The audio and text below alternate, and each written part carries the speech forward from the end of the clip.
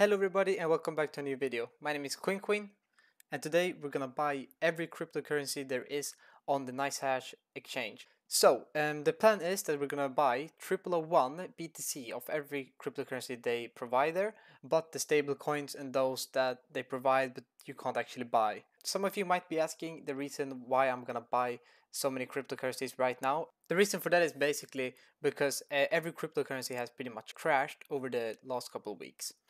Um, I see opportunity in that. Um, it's time to be greedy since many others are fearful. So this is how it looks when I'm buying. Uh, I'm basically just going to do this I think about 53 times. As you can see here now I'm buying Zcash and I'm hiring the amount here in the bottom because it's the minimum execution which means so basically I can't buy for lower than that. Yep, there we go.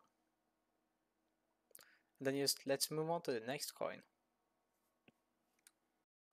So I've put everything into the Excel sheet and this is basically how it looks like. As you can see here I have all of the names of the coins and also the shorts or whatever, their um, codes or I don't know what that's called. This is all of them and this is how much of every coin I bought. So yeah, there's a lot of decimals in a lot of them. But then there is also, for example, this one where it's exact. I don't know why that is. Uh, and then this is the total price. So it's almost 160 euro for me to buy a triple 0.01 BTC of every crypto there is on NiceHash.